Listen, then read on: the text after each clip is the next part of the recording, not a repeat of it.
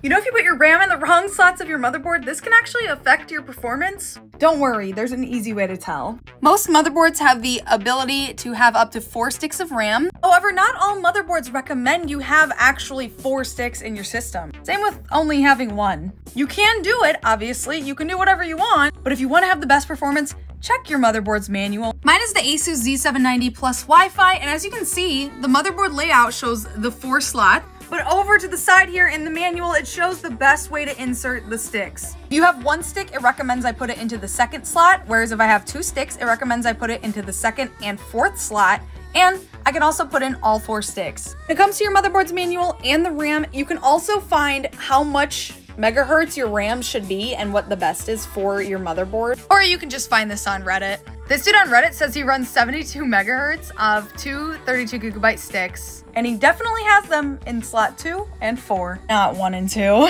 Let me also add, if you're gonna upgrade or buy your RAM, make sure to get a kit. If you buy a single stick of RAM or things that are uncompatible, you're gonna have performance issues.